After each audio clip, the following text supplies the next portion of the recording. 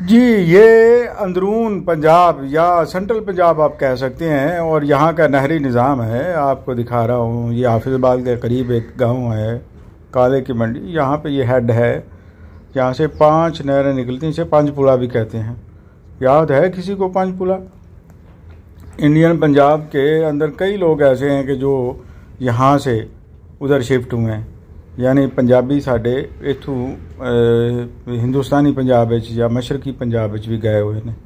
ਤੇ ਕਾਲੇ ਕੀ ਮੰਡੀ ਕਿਸੇ ਦੌਰ 'ਚ ਬੜੀ ਅਹਿਮ ਮੰਡੀ ਹੁੰਦੀ ਸੀ। ਜਨਾਸ ਦੀ, ਖਾਸ ਤੌਰ ਤੇ ਮੁੰਜੀ ਤੇ ਜਿਹੜਾ ਦੂਜੀਆਂ ਫਸਲਾਂ ਨੇ, ਉਹਨਾਂ ਦੀ, ਗੰਦਮ ਵਗੈਰਾ ਦੀ।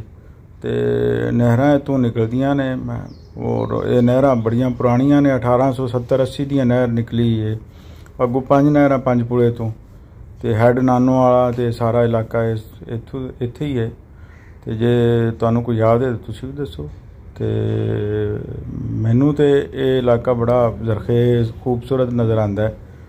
ਪਾਕਿਸਤਾਨ ਦੇ ਚੰਦ ਇੰਤਹਾਈ ਜ਼ਰਖੇਜ਼ ਇਲਾਕਿਆਂ ਚੋਂ ਇਹ ਸ਼ੁਮਾਰ ਹੁੰਦਾ ਹੈ।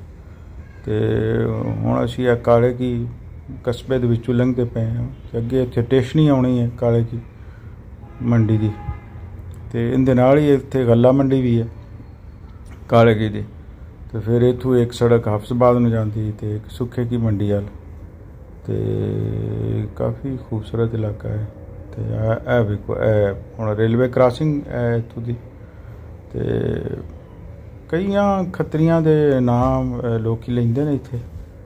ਤੇ ਜੇ ਤੁਹਾਡੇ ਜ਼ਿਹਨ ਚ ਹੈ ਤੁਹਾਡਾ ਕੋਈ ਵੱਡਾ ਵਡੇਰਾ ਇੱਥੋਂ ਕਾਲੇ ਕੀ ਮੰਡੀ 'ਚ ਗਿਆ ਤੇ ਤੁਸੀਂ ਵੀ ਜ਼ਰਾ ਗੱਲਬਾਤ ਕਰੋ। ਤੇ ਇਹ ਵੇਖੋ। ਇਹ ਹੁਣ ਜੰਗ ਬ੍ਰਾਂਚ ਨਹਿਰ, ਜਿੰਦੇ ਤੋਂ ਅਸੀਂ ਲੰਘਦੇ ਪਏ ਹਾਂ ਤੇ ਇਹ ਜੰਗ ਬ੍ਰਾਂਚ ਤੋਂ ਅਸੀਂ ਹੁਣ ਜਾ ਰਹੇ ਹਾਂ ਜਾਲਮੋਨਾ ਤੇ ਸਾਈਡ ਤੇ, ਪਿੰਡੀ ਭੱਟੀਆਂ ਵੱਲ। ਕਦੀ ਆਉਣ ਹੋਵੇ, ਗੁਜ਼ਰ ਹੋਵੇ ਤਾਂ ਵੇਖੋ ਇਹ ਮਜਾਣੀ ਬੰਗਲੇ ਵਾਲੀ